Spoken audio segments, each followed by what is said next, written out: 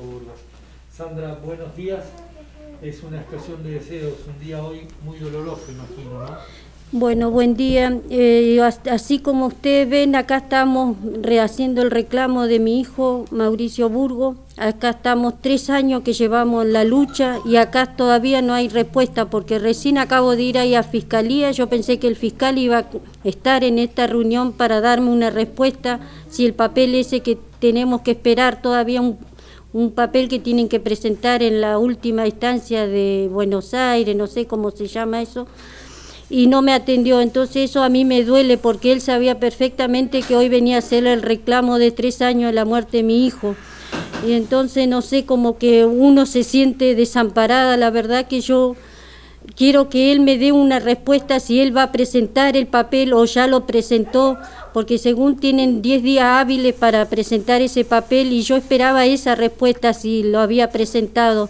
Y ya ellos están condenados, ellos no sé qué más esperamos de la justicia verlos acá libremente como si nada y nosotros sufriendo acá el clima malo. Yo tuve que hacer peripecia para poder pasar para acá, para encontrarme con esto que en el fiscal no esté acá porque él tiene que darme una respuesta.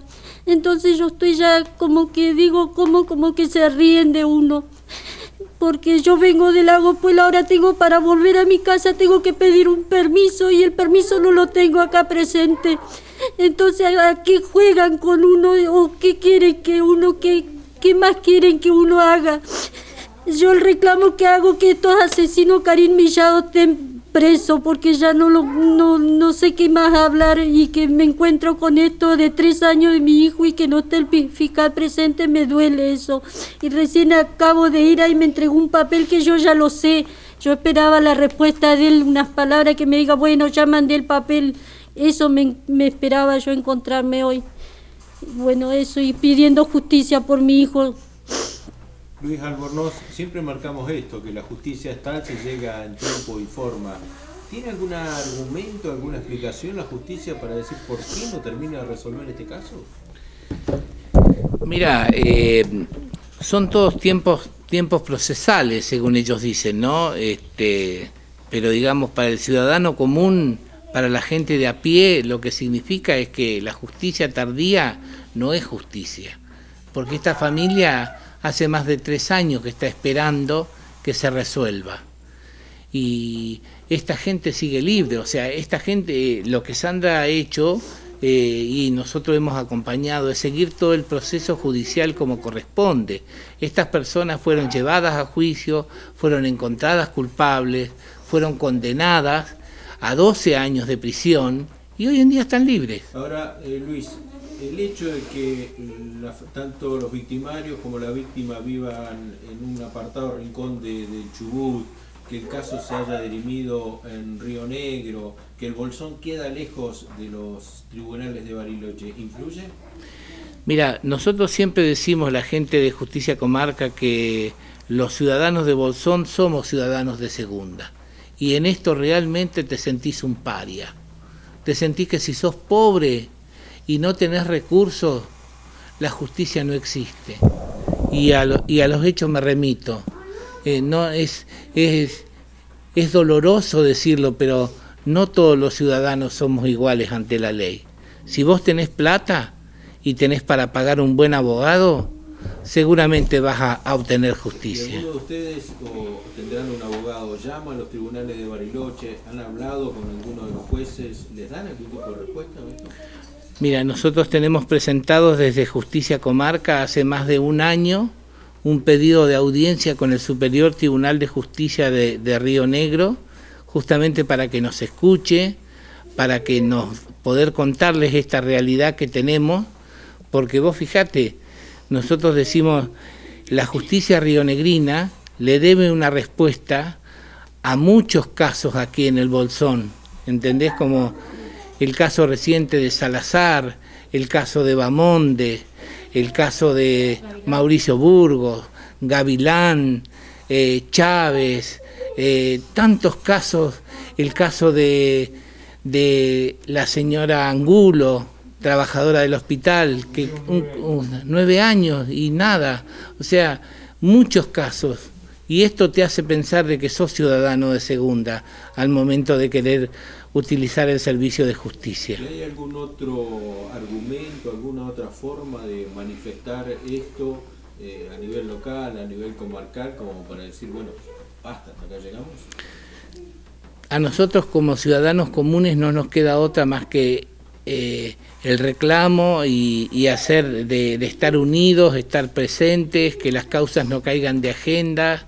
Eh, como siempre decimos nosotros, nos parece que este es el mejor homenaje que le podemos hacer a los pibes. No, uno muchas veces dice, no nos resignamos a la violencia. Y esta es una forma de decir, nosotros no, no, no, digamos, eh, no, no naturalizamos la violencia. Por eso seguimos reclamando justicia. Eh, Fabia, buenos días también para vos. Contanos un poquito eh, cómo está la, causa del abuso que sufrió tu, hijito, ¿no? Eh, en manos de un gendarme, ¿cómo es la situación actual? Buen día, buenos días a toda la audiencia. Sí, bueno, yo esperaba juicio para este mes, pero lamentablemente con todo esto del coronavirus se, se, postergó. No sabemos hasta cuándo, ya son dos años que estamos en espera.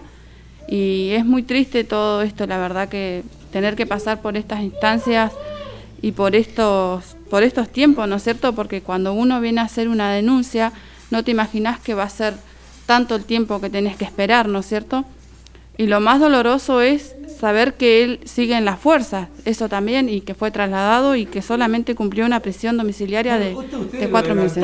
El grupo Justicia Comarca adelantaba que lo iban a trasladar para ir diluyendo los tiempos y la causa y esta persona iba a volver a, iba a, volver a su función en otro lugar sin que se sepa lo que había pasado en el bolsón. No sé, sí, es verdad, y, la, te duele como mamá, a mí me duele, o sea, a mi familia también. Imagínate vos que el abusador de mi, de mi nene sigue en las fuerzas y, no tenemos respuesta de, la justicia. Eh, ahora tengo que esperar que se, se vuelva a abrir el, ¿cómo se dice Luis? El, Bariloche en Bariloche, que vuelvan a retomar las audiencias y eso va, a ser un tiempo de un año mínimo, pero yo, y, eso también te, da una impotencia de decir, pucha, ¿qué, ¿qué, voy a hacer ahora? O sea, no nos queda otra que venir acá a hablar, volver a retomar, digamos, y contar lo que está pasando, y es una locura que el abusador de tu hijo esté libre, es una locura. Y lamentablemente los hechos de víctimas de, la violencia no se terminan. El caso más reciente es de Sergio Salazar, este chico allí del barrio industrial, el barrio Irigoyen, eh, hace un par de semanas nada más. Y bueno, han tenido que recurrir también al Grupo Justicia para iniciar esta gestión eh, dolorosa para la familia, ¿no? Sí, es bastante doloroso. Ahora el sábado se van a cumplir dos semanas recién de, de su muerte y no, yo creo que se haga justicia porque el tipo que lo, que lo mató está preso y la justicia dice que tienen todos los elementos necesarios que lo vinculan al tipo con esto, pero a la vez no tienen nada. Eh, yo no sé qué más están esperando. Yo sé que recién van a ser dos semanas, tenemos cuatro meses todavía para resolver todo esto. Eh, yo quiero que, no sé, que se haga algo, que se haga algo con el caso mío y con el caso de ellos igual. Bueno, allí los propios funcionarios actuantes nos marcaban que había reticencia incluso de algunos vecinos que tenían miedo a represalia, que había algunas otras cuestiones detrás como el alcohol o como la droga. Eh, ustedes van a tener, calculan en un eventual juicio, el aporte de algunos testigos de allí del barrio de lo que realmente pasó. Y eso que todavía estamos averiguando, que los testigos digan algo, porque la gente... no hay testigos. No hay sobre la muerte de mi hermano no hay testigos. Pero la gente, hay personas que vieron el hecho, pero no quieren hablar. Y ellos también tienen hijos, ¿viste? Fue a las 8 y 20, 8 y media, ¿cómo nadie va a ver nada? O sea, todo el mundo te ve que vos estás con alguien en tu casa. Todo el mundo va afuera y dice, no, este está con este, está con el otro. Y cuando pasa algo así no hay nadie. Pero el barrio sabe. Y el barrio sabe.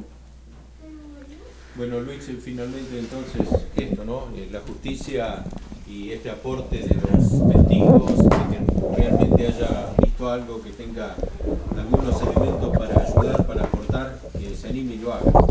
Sí, nosotros, este, la verdad que eh, recurrimos a esto, al, compromiso ciudadano de las personas, porque es la forma de comprometerse, de que realmente se haga justicia, eh, no tener miedo, porque no es la primera vez que nos toca a nosotros desde Justicia Comarca salir a pedir a los testigos que, hablen, que digan, porque es la forma de sacar, digamos, hablando eh, de manera figurada, sacar las manzanas podridas que nos hacen tanto daño, ¿no?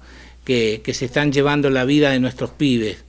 Eh, estos mercaderes eh, que les venden alcohol y droga a nuestros pibes y que este, son un elemento más, digamos, de que eh, se va yendo la vida de los pibes, le van truncando los sueños, ¿no? Y bueno, eh, por eso pedimos a todo aquel que haya visto algo, que sepa algo, que se anime.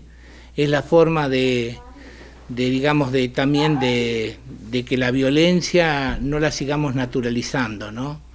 Este, así que bueno, ese, ese es el pedido que hacemos nosotros desde Justicia Comarca y por supuesto Agradecerles a ellos igual por venir a hacer la. Sí, eso sí, nosotros le, les agradecemos a ustedes muchísimo. Eh,